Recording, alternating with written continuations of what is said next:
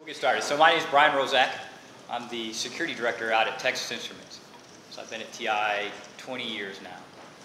And when I got my MBA here, it was from 2005 to 2008. So I got the traditional MBA with the cybersecurity certification part. And uh, when I was going through the program, I had three daughters. At the time, they were 9, 11, and 13. So and then at work, I travel about once every quarter internationally. So I took almost all of my courses online since it gave me that flexibility to keep traveling and still, still keep up with all the school and everything like that. So that's kind of my background and my story, and I'll let the rest of my, my colleagues here give you a similar overview, and then we'll just open it up to questions, and hopefully we can answer. Uh, my name is John Harton, and I'm the Senior Database Administrator at Cook Children's Hospital in Fort Worth. Um, I worked on my MBA from 2006 to 2011. I actually graduated in April. Um, Congratulations. Thank you. Um, I did my MBA in IT. Um, and while I was doing it, I was working 70 hours a week, just about. Uh, started out at Verizon and then moved to Cooks. That's pretty much it. Okay. I'm Sonia Kirkpatrick, and um, I started, well, I just graduated in April as well, and um, I started in, I guess it was, it took me about two and a half years. Um, working full-time, I work for Nokia Siemens Networks, and I handle their global finance within the real estate division. My travel schedule was approximately 50%, so I took a mixture of online and um, in-class, both. And part of that for me was I wanted to meet people. I, I wasn't, I'm kind of old school. I got my undergraduate in 1994 from Texas Tech, and I wanted to meet some people. I was really scared to go back to college, to be quite honest with you. It had been a long time, and for me to go back to college, I, I wasn't really in that online mindset, to be quite honest with you. It's, it was kind of scary to me thinking, how can you really take a class online and how does it work? So um, I did take a few of those classes. I tried to manage it as much as possible um, in order to, well, I, I, again, it was just more about meeting people. I wanted some colleagues. I wanted networking. I wanted to really make the best out of this experience. And of course, to, the thought of sitting down and actually taking a test again was frightening to me. I don't know if you all have the same, you know, mindset to say, I can't imagine sitting down to take a test again. But it's so different after you've been out, you've been working, and school isn't nearly as hard the second time around. And so that was very, that was really great for me.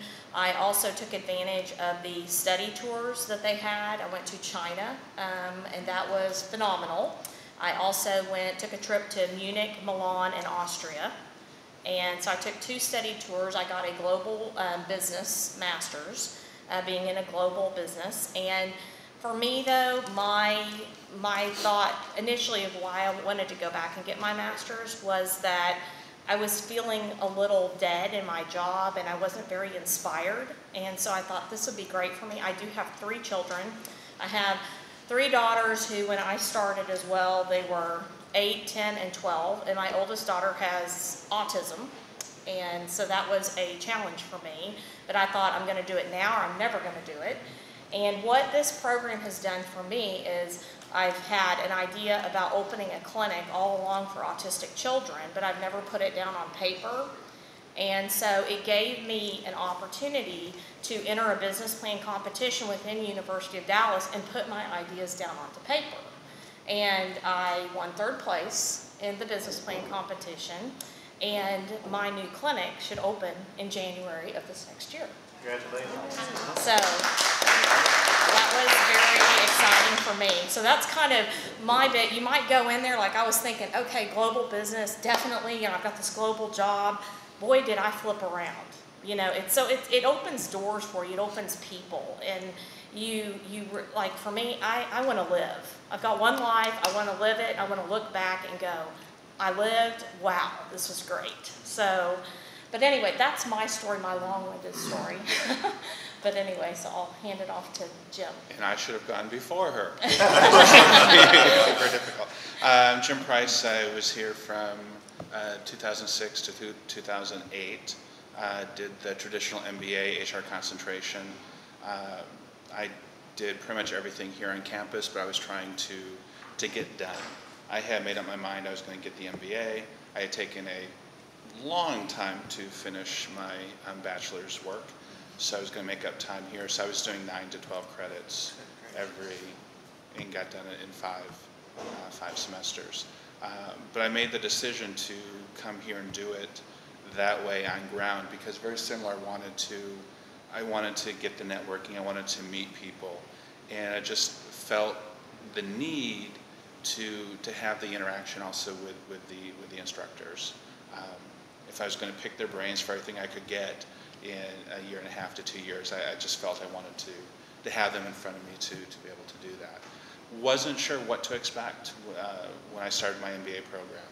Um, I really didn't have an agenda other than I wanted the MBA. Um, was a little bit worried when I started that I was going to be an exercise because I had been in my career for so long. I'm a senior VP in HR at Citigroup and had been in that career for several years uh, before even starting the program. Was worried I would just be doing my time to, to get the degree and was very happily surprised that that wasn't the case.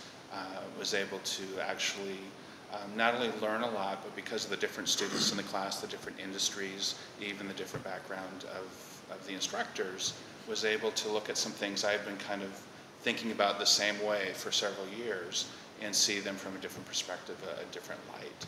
So that's really my takeaway from, from the program.